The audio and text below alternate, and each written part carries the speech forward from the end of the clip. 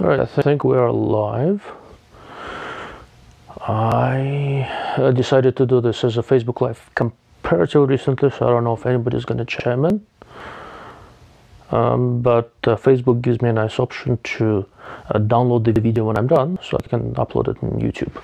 The reason why I'm doing this here, and I'm not home, I'm visiting somebody, is that uh, like with any like with any class that I take, I try to sit in front of the camera and talk through my impressions, and most importantly, from uh, talk through my lessons learned uh, as early as I can before uh, before the memories fade.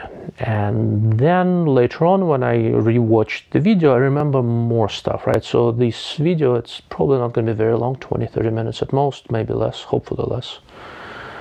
Uh, this will. Uh, this will help me trigger my memories later. Uh, if you are trying to read my t-shirt and it looks weird, well, uh, I'm using uh, Facebook's uh, front-facing camera, which inverts the image, and I haven't figured out how to uh, how to invert it back. I might I might uh, try later in post-processing, but basically it says my people skills are just fine. It's my tolerance of idiots that needs work. Um, just being honest, really. Anyhow, so for a little bit of a uh, for a little bit of a background, I am not a very good shot. I talk a lot about guns. I spend a lot of time at the shooting range, but I started shooting fairly late. I started shooting uh, when I was uh, 19 years old. And uh, for the first several years, I really didn't get any training, and I really started getting real training comparatively late, right? So um, maybe reflection of hubris or arrogance or something. It's hard to say. But anyhow, um, I had a lot of bad habits to unlearn, and I've been unlearning them, and I am uh, slowly but surely getting better. And uh, when I started going to Frontsight a few years ago, uh, that's been very helpful for me. Um, Frontsight, uh, it's a shooting school in Pahrump, uh, Nevada, not far from Las Vegas. It's an occasionally controversial place. Some people like it, some people dislike it. Um, their marketing is a little kooky, I'll be honest with you, but the training has been good. Is it the best out there? Who knows? But uh, it is easy for me to make it there. It is easy for me to bring my friends there. I have a membership, so I don't have to pay extra for classes, pay for ammo, that sort of stuff. I don't know how their business model works, but instructors are competent, uh, they're friendly, they're nice. Is it as good as going taking a, a class with some special forces operator, whatever else? Maybe not. But you know, they've got recon marines and other generally competent people. So I uh, enjoy it and I always, uh, I always learn something. And the nice thing is that every time I go there, uh, the instructors encourage you to go and learn from somebody else at other shooting schools, places around. And when we come to a class in Frontsight, they say, look, if you guys know how to do something better than we do, please tell us. We will consider it. So they do maintain an open mind, and I always, I, I always enjoy that. Anyhow, so once a year on the 4th of July weekend, they offer several night shooting classes. They start right around 6.30 p.m. and go until a bit after midnight. Um, there are good reasons for that. The best one is that uh, uh, in July in the desert, it's a little bit warm, just a little bit. It's a little bit like a furnace plus a few degrees. Uh, uh, but at night it's very nice. And it's a nice opportunity to use flashlights and it's something that we don't do a lot. I've done a lot of shooting and uh, using a lot of um, observation using optics at night. Haven't done a whole lot of shooting at night uh, that was done uh, haven't who do i have there? T is watching. Hey T. How are you buddy? But anyhow so i haven't done all that much shooting at night under time pressure. And that is an entirely different, entirely different ballgame. Um, I, as I said, I'm not a particularly good shot, but I'm a world-class gearhead. So what I do, and I, the only reason I was able to go and take this class is that uh, I convinced uh, my wife and the kids to uh, go on vacation for three weeks while I'm ostensibly working and you know we're moving so there's a lot of things to do. But in the meantime I was home alone on 4th of July so I managed to find a way to go take this class and during the day I can still work. So I go and take this class and I outfit three uh, different rifles for it because one of the things I want to understand is what works in low light, what doesn't, what are the advantages and what are the disadvantages if you have to go fast because I'm not good at going fast. Going fast is not very natural for me. I'm a deliberate guy, I'm a precision oriented guy. So the whole fast thing for me is a little bit uh, uh, unnatural. And I always want to know what gear uh, works. And another thing to keep in mind is that I'm really good at learning things. So a lot of things I get from Frontsight that I can go and practice on my own as situation and environment uh, permits. So I had three rifles with me. Um, they're here. I'm going to show you what they are. You can see them in the background. I'll explain uh, what's what. They are unloaded. There are no magazines anywhere in this room. There's no ammo anywhere in this room. The actions are the actions are open there's nothing in there and same for all of the rifles so um, all three are 556 carbines with 16 inch barrels this one is mostly a Crimson Trace affair. Crimson Trace started making optics this year, and I've been kind of looking at them, and I generally like what I see. This is the 3.5 power battle sight. It's a 3.5 power prism scope. I have in an offset mount at a 45 degree mount a Hawke microdot. I have two of them. There's a specific thing I wanted to explore with the Hawke and I'll touch on that later because one has a 3 MOA dot, another one has a 5 MOA dot. I also have a Crimson Trace flashlight here with the remote uh, uh, pressure switch. Okay. Um, Brigand Arms uh, handguard, ultralight stock. The barrel is from AR-15 Performance. I quite like it. All my rifles I, I build myself out of pieces. All right, this one is another 556 action open. This is a Crimson Trace rifle style uh, red dot called CTS 1400. Not magnified. I do have uh, backup iron sights on this gun, and I've tried using it with both iron sights and a red dot. The flashlight here is very different. It's a WML Gen 2 from Inforce. the way this works, there's no pressure switch, but there's this angled switch on the back that can go uh, permanent. Uh, is it off? Yeah, I turned it off. That can go permanent on, uh, like this, like this. Okay, so it works fairly well, but the action of pressing the switch is different, and as I learned, this kind of stuff plays certain tricks on your guy handling, gun handling. Yes, hi, hi T. Third rifle was, uh, well, some problems, I'll tell you later. This is the Fold AR upper on one of my lowers. Elcan uh, 4 power uh, prism scope, that's my primary AR scope and another Hawke micro dot on top. This Hawke has a 5 MOA dot, the other one has a 3 MOA dot. The flashlight is from Streamlight. This is their ProTac HLX. It's I think a thousand lumens, something like that. Um, also pressure switch. Um, nice flashlight, well regarded. The standard presumably is Surefire. Surefire is very expensive, and I was curious uh, to experiment with uh, other lights. So this one is about a 1000 lumens, the Tango 900. The Crimson Trace is about 8 to 900 also. And the uh, and the Inforce is 400. In this class, the shooting happens, most of the shooting happens within 7 and 50 yards, but we did shoot at 100 and we did shoot at 200. We did shoot briefly at 400, but with a flashlight, it's from 100 yards and in.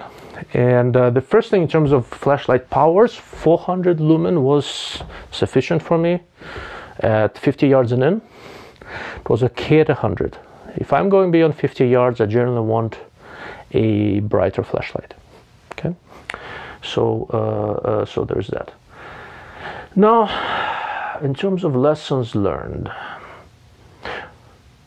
so uh, before I go into lessons learned, uh, did anything break? Uh, it is a four-day class, so I spent different days with different rifles. Uh, none of my flashlights uh, break. One of the straps that holds the pressure switch for the Crimson Trace flashlight did break, but it has an adhesive pad, so nothing moved. I think it's there. I, you know, I bumped it against something, so it broke. It didn't affect me in the slightest. And uh, uh, this, all the sights worked fine. My fold AR somehow on the third day decided it's a single shot. I did not spend uh, any time trying to figure out what's wrong with it. Uh, it was working fine earlier. I cleaned everything. I'm going to make it to the range and see and see what's happening with this thing. Uh, we'll see how it goes. As far as gun handling goes, so this is sort of an interesting thing. I hold my rifle a little bit differently than a lot of people who go fast do, and what I found uh, works for me. You know, people right now the fashionable thing, people go you know the C clamp and stuff. It doesn't seem to work for me all that great. Partly because I do the same thing for slow fire, for fast fire, and for shotgun. So I like to support it on the bottom.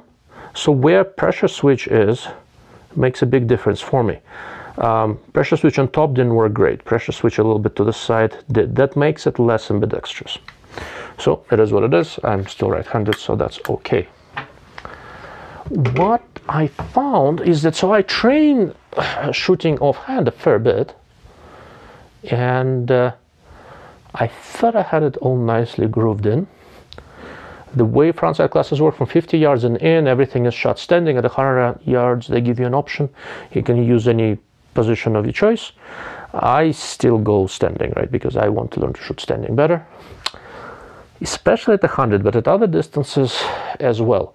The simple action of other than supporting the rifle, you know, pulling it a little bit back in your into pulling it a little bit back into your shoulder. Once I add one simple thing to pressing on the uh, switch of the flashlight, all of a sudden my position becomes less stable because it somehow screws up with my uh, screws up my isometric tension.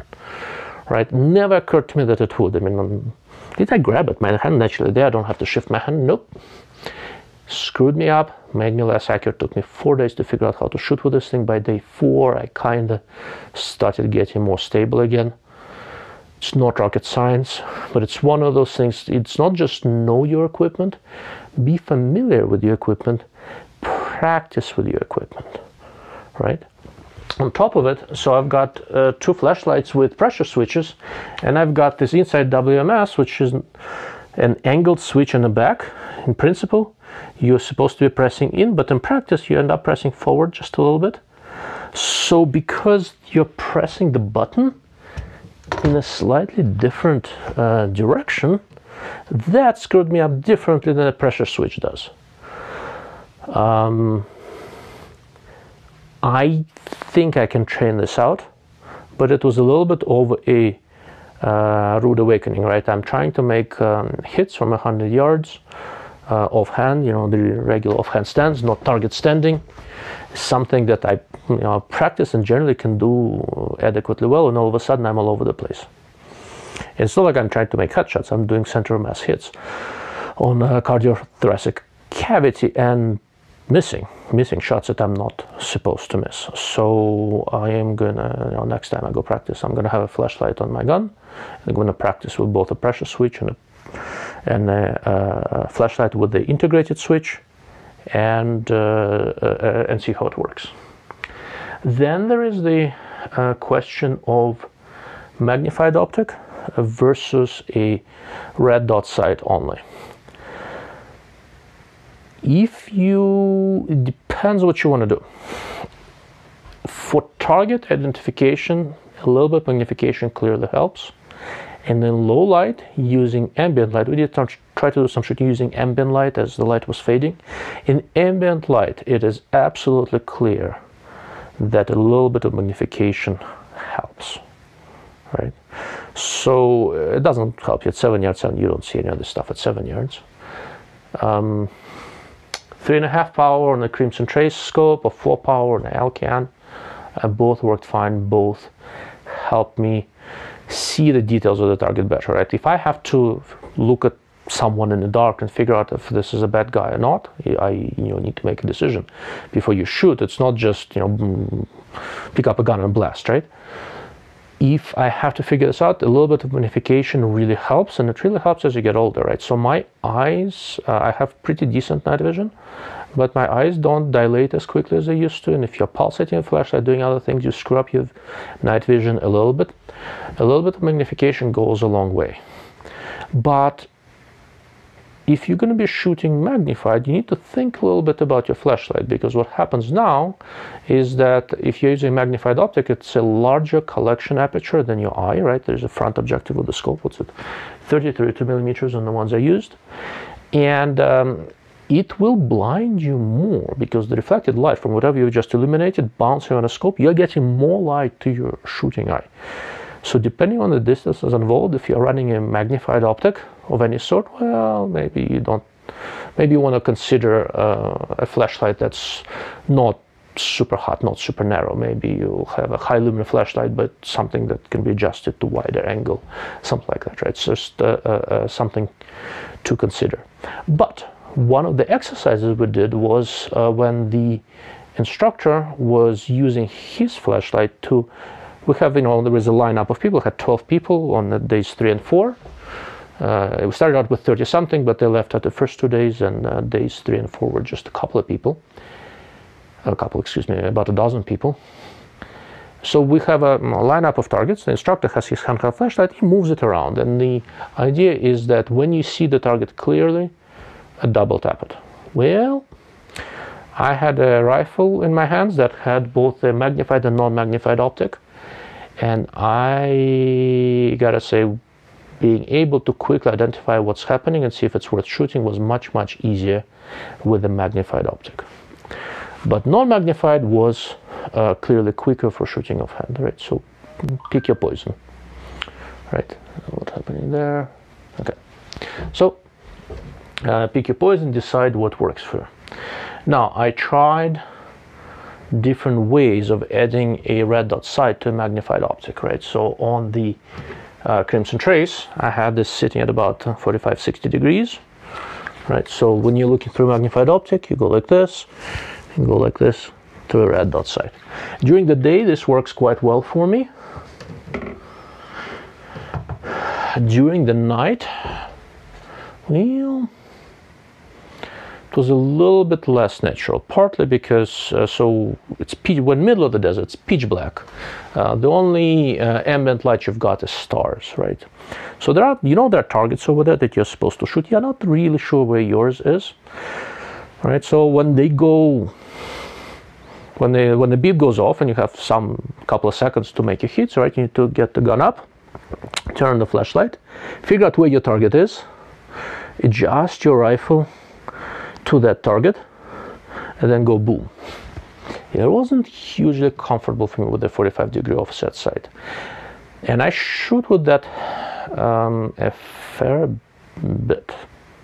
Okay, so that's uh, something to uh, uh, that's something to consider. But it wasn't uh, it wasn't too bad. Uh, with a red dot sight in a regular position, that was ultimately the fastest, especially at closer distances. Uh, between the 45 degree offset sight and a and a piggyback uh, sight like I've got on the Elcan. I honestly I honestly don't know which one I like more. Um, because uh, with a with the piggyback sight right? So you have your normal cheek cheek weld to use magnified optic and chin weld to use the red dot. Um, it's a different presentation. And uh, 45 degree offset red dot is also a different presentation. And I really don't know which one I like more. It's kind of tough. One that worked surprisingly well for me, that was with the Elcan, is basically an equivalent of Bindon aiming concept. Elcan can be set to illuminate just the center portion of the reticle and make it quite bright. And when I'm moving and transitioning with both eyes open, I can get on target very fast. And when I uh, stop moving, kind of uh, zoom in, and I've got my magnification that helps me identify the target, uh, helps with the headshot, uh, that kind of stuff. So that um, that was interesting and that was worthwhile. Ultimately, I think all of these methods uh, work just fine, uh, but you have to train. And I have a suspicion that as far as presentation goes, I need to pick one and train. If I trained more, I could probably adjust to a couple different methods and I think I can switch between them adequately well.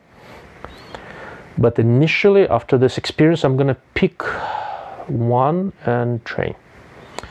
And I don't yet know which one uh, I'm going to pick. As far as optical quality, well, the Crimson Trace performed very well. It's half the price of the Elcan. I'm very pleasantly uh, surprised by the scope. It uh, worked nice. Illumination was good. Reticle was reasonable. It didn't lose zero, so I'm quite happy with it. Uh, I really, really liked the Crimson Trace Red Dot. That's the CTS 1400 uh, really impressed with this thing um, think I'm gonna keep using this thing for a while it's a really nicely collimated dot there's a little bit of a color cast through it it's a little bit of a like greenish thing. To me uh, the color the view through it looks a little bit like the Vortex uh, Razor red dot. And it's also made in Japan. I don't know if it's made by the same OEM by, by different people. It works similarly. I really liked it. The dot was bright when I needed to. It was well defined. Uh, one of the things uh, about red dots is that a lot of us have uh, astigmatism of uh, some sort, right? What is not commonly understood is that if you have astigmatism, it will get worse at night. Astigmatism is effectively some irregularities in the shape of your eye, and at night, when your eye pupil mm, dilates, the efficiency of the optic in your eye, of the lens in your eye, sort of goes down, and the larger your eye pupil, the more significant the astigmatism is. And that is one of the things I was uh, trying to see with the Hawke microdots that I used, but I really like these things. They're little, they're small, they're reliable. I had them on handguns and carbines. I'm really happy with these things. So the Hawke microdots I have, one has 3 MOA dot, another one has a 5 MOA dot. So I ran both and during the day uh, both of them so i have slight astigmatism right? So the dot does not look perfectly round to me. It's a little bit like a star but it's you know good enough for me to shoot inside of 100 yards. I don't but in the dark when my eyes are dark adapted and fully dilated what used to look like a slightly fuzzy star during the day now looks like an elongated weird ass thingy. And aiming with it at longer distances is not nearly straightforward because I don't know which part of the dot I should be aiming for right? So if the dot is a nice round circle or something starry and blurry, you know, center master, I can still aim with it. But if the dot has a, uh, a weird shape of some sort, now that's a different ballgame. In practical terms, so I tried aiming with different portions of the dot and all that. Instead of 25 yards, it made no difference, but uh, going out to 50, if I aimed with the wrong part of this elongated target aiming structure, whatever it is, I could have problems. The larger red dot on the, on the crimson trace, this thing, that did not give me the same problems specifically because it is larger, right? So the longer the red dot sight is, generally, the better of a collimation quality you're gonna get. This also depends on the shape of, uh, uh, of the lens here, whether it's spherical or aspherical or anything else. So not all red dot sights are created equal. And this Crimson Trace CTS 1400 has performed really, really well for me. And the shape of the dot uh, stayed reasonably consistent even as my eye uh, dilated. And that was kind of nice so that you understand the difference. So this is the Hawke microdot, which is nice, kind of tiny comparatively speaking, and this is the Crimson Trace. The length of the sight uh, makes a significant difference in the quality of the collimation. Okay, but this is um, another reason why, in the grand scheme of things, and you know, with me not really being a high-speed uh, low drag kind of guy. In the grand scheme of things, my general purpose AR will continue wearing a, a magnified optic. I'm gonna go take uh, the same class more or less uh, during the day in November, and I'm gonna have probably to take either uh, the Elcan or I'm to take a low range variable and uh, and play with that. So we'll see uh, we'll see how that goes. But uh, I to me, as the light gets low, a red dot is really a 75 yards and in uh, proposition.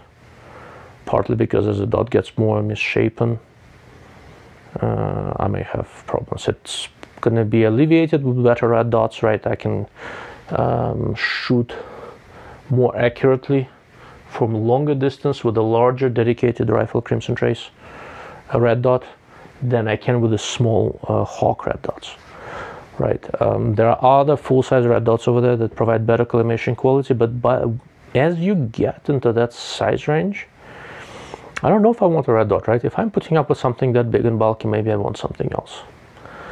Uh, my basic take on this as the with red dots I like smallish sides so the crimson trace is about as big as I want to go with the red dot right? This thing if I'm gonna go bigger I have a uh, Vortex uh, AMG UH1 holographic sight it's a little bit heavier a little bit bigger uh, it plays with my astigmatism a little bit better next time I do a night shoot I'll probably do it with that so if I'm going bigger than something the size of this uh, CTS 1400 Crimson Trace I'm gonna go with a holographic sight either Vortex or uh, EOTech. I like them both. They're good, good sights. If I'm going bigger than that, it's going to be a magnified optic, either a low range variable or prism scope.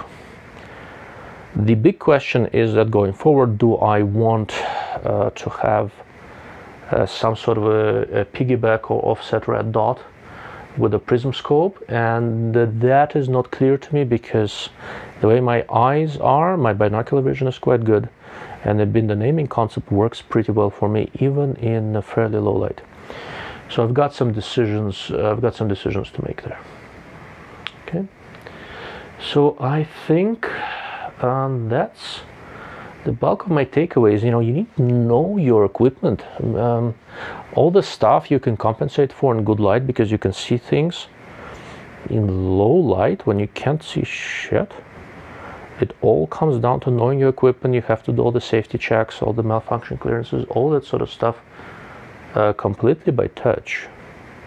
And that was, uh, I did okay there, but that was a little bit different. But all the controls and all the uh, buttons and all those things, they, uh, they have to be absolutely tactile.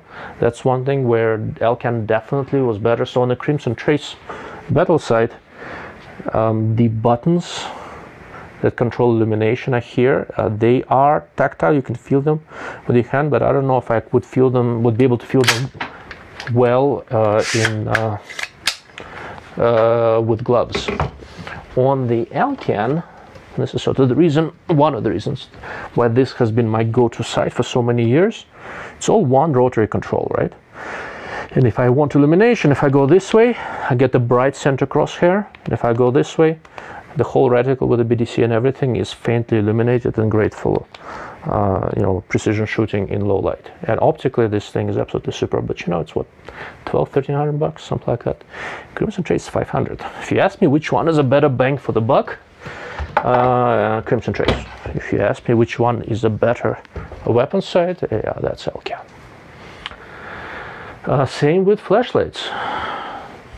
Figure out what you like practice with it uh, when I uh, got there, all three of my flashlights were not set up quite right. It all seemed okay for me when I was messing with it in good light.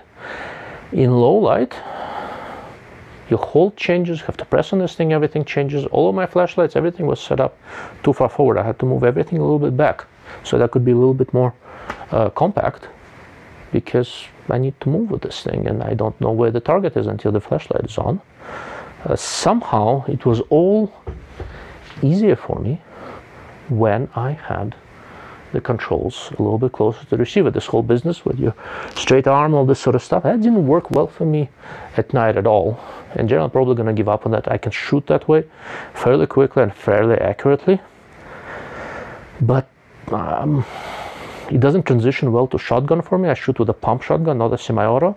So because I need to use the pump, it's easier for me to come in from below so I think I'll just stick with that grip it may not be optimal for speed but um, I like the idea of having a consistent grip and another thing so next time I do this night class i will try to do it with a shotgun uh, because there is an added dimension right not only do I have to cycle it, this bloody thing I still I also have to work the light switch somehow I'll need to do some experimentation, but then I'll go to class and I will uh, uh, pick their brains. But anyhow, so I think that's it. If you have any questions, uh, ask them now. If you don't, I'm gonna wrap this up. I'll download the video and I'll upload this to YouTube, so it'll be there to see. And uh, uh, T, you're a bench. Thank you for chiming in. I think that's a wrap. Thank you.